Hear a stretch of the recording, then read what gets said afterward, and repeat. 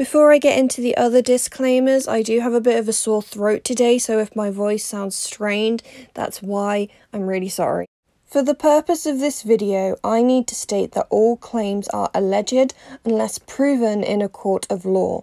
Any comparisons to other cases are purely to examine dynamic types and are not intended to add additional allegations the primary subject of the video or to conflate, trivialize, or minimalize the harm caused in each case.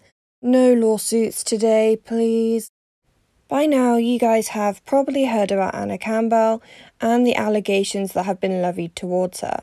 The YouTuber that boasts 400,000 subscribers on her channel recently had a video made on her by three former girlfriends who accused her of many things, including what I perceive to be Anna utilizing common manipulation tactics to cultivate codependency and reliance in her partners. This is particularly disturbing to me as these trends can be observed in various dynamics, the results in which can range from traumatizing to deadly.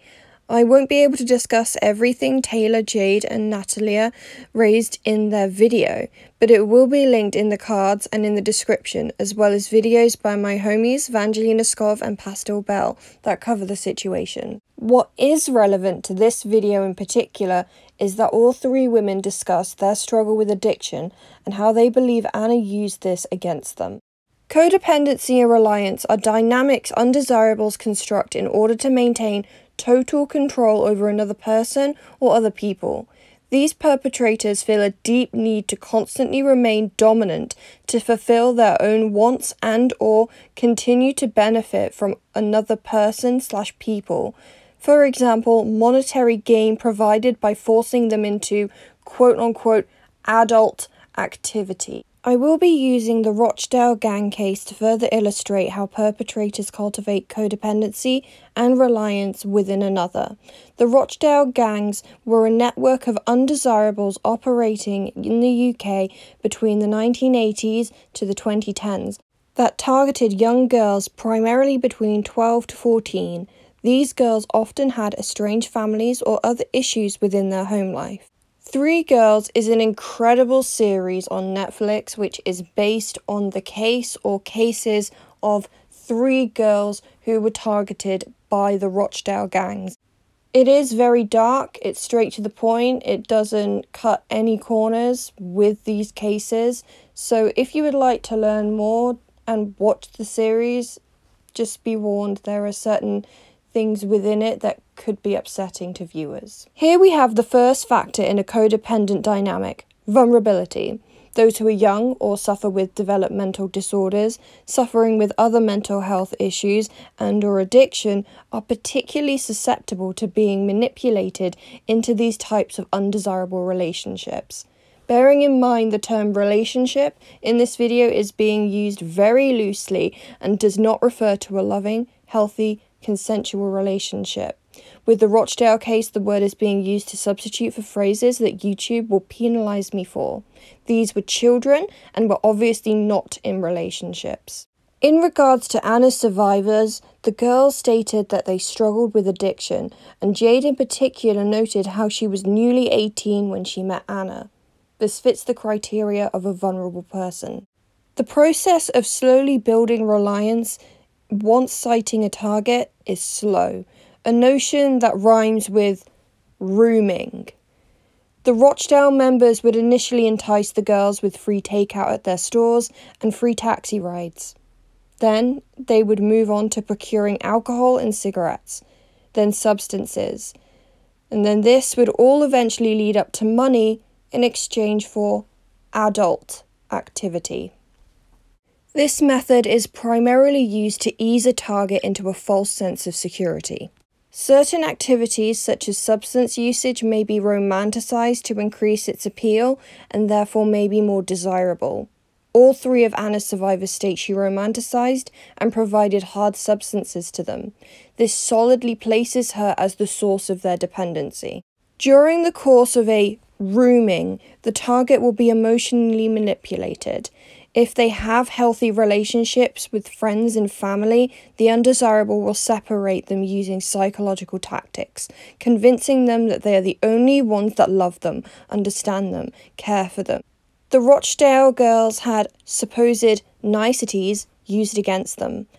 They were the ones that fed them, let them drink, smoke, and party when their parents wouldn't. While I don't believe any of these tactics were explicitly mentioned by Anna's survivors, I wouldn't be surprised if Anna herself had attempted to remove support bases from these women.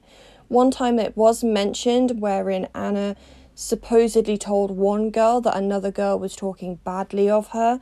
That could be a way to try and pit them against each other. Natalia mentioned how Anna used her fan base to bully her possibly trying to turn Natalia's own fans against her, which would have been a form of a support system. The last part is reactions to attempts to end a codependent relationship. Undesirables will rapidly change pace when threatened with losing control of their target.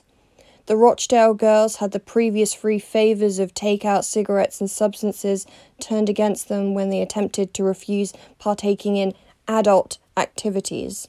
The network members would also threaten their lives and the lives of their loved ones, which also serves as another way of separating the girls from stable and healthy relationships. The behavior of the undesirable goes from switching of sweet and domineering to violent. Anna's survivors report this. Natalia claims that after she broke up with Anna, Anna proceeded to destroy her property. She would threaten the girls with self deletion if they left. For people like Anna, the loss of control is enraging and they will turn violent or supposedly self destructive, making threats that they will harm themselves if the other person leaves. There is nothing worse for these undesirables than losing this person they've managed to manipulate. This is how the process of codependent and reliant relationships build up. They pick vulnerable people, they supply them with things that are supposed to be seen as favors or nice because they've romanticized certain things like substances to the point where they are desirable to the target. They then hold it over their heads, and then if the target attempts to leave, they switch and sometimes the complete fear that they instill within their target during this switch is enough to lure them back in again, and then the process is repeated. I will link some resources down in the description if anybody who is watching this video is currently struggling with a similar situation. One of the most important things a person can do to protect themselves is to have a support base. This can be extremely hard for people who have volatile home lives or are loners, which is why they become targets in the first place.